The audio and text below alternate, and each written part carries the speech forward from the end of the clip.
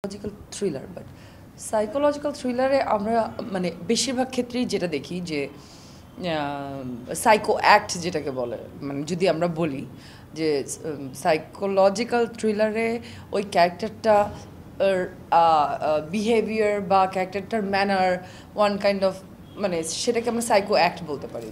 But এই this character is something different she is so simple মানে she is not even human she is just shadow কিন্তু problem is মানে ও হচ্ছে একদম খুব নর্মাল খুব হিউমারাস একটা মানুষের মধ্যে দেখবে মানে দর্শক তাকে। আমরা একটা সাইকোলজিক্যাল থ্রিলারে আমরা যে ধরনের অ্যাক্টিং অ্যাক্টিং প্যাটার্ন ব্যবহার করি বা যে ধরনের মেথডিক্যাল অ্যাক্টিং করি, এটা তার বাইরে ফার ফার মানে এটা একদমই খুব নর্মাল সিম্পল একটা হিউমারাস গ্রামের একটু শিক্ষিত মেয়ে যেরকম থাকে, ওরকমই। থাকে না, অনেকে একটু দুষ্টামি করে, শয়তানি করে, কুটনামি করে যেরকম। ওইগুলো করে এখানে। বা একটু নেগেটিভ ভাইব দিতে চেষ্টা করে মানুষকে। তো ও মানে একদম টিপিক্যাল মহিলারা যেরকম কিছু কিছু মহিলারা আমি বলব।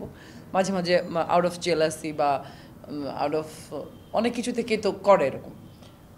তো এটা একদম এই সাইকোলজিক্যাল থ্রিলারের যে যে ক্যারেক্টারটা যে সাইকো অ্যাক্ট যদি বলা হয় যেই সাইকো অ্যাক্ট করছে যে ক্যারেক্টারটা সেই ক্যারেক্টারটার অ্যাক্টের মধ্যে আসলে কোনো মানে সাইকোপ্যাথ বা সাইকোপ্যাথিজম আপনি দেখবেন না।